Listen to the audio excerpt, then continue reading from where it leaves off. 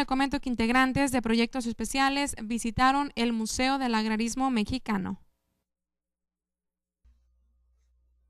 El Museo del Agrarismo Mexicano recibió en sus instalaciones a los integrantes del proyecto Casas de la Colonia Ocampo, donde se imparten actividades extraescolares por las tardes, además del programa de educación inicial CONAFE, como dentro de este programa marca la estimulación de la exploración y conocimiento del medio, es que los niños fueron a visitar dicho recinto cultural en compañía de sus maestros y algunas madres de familia, como también los niños asisten a las salas de lectura Xochipilli con este recorrido por el Museo Agrario. Los pequeños ampliaron sus conocimientos sobre arte, cultura e historia y lo más importante, conocieron el entorno que los rodea. El personal del Museo Agrario considera de suma importancia este tipo de visitas donde los niños, alumnos de los diferentes centros educativos no solo crean identidad histórica y nacional que los hace sentirse orgullosos de sus raíces, sino que además amplían sus conocimientos teóricos enlazándolos con los prácticos y tienen mayor seguridad de sí mismos al poseer un mayor conocimiento del entorno en el que viven. En esta visita en especial fueron un total de 35 niños, 8 madres de familia y la maestra Citlali Vázquez Ruano,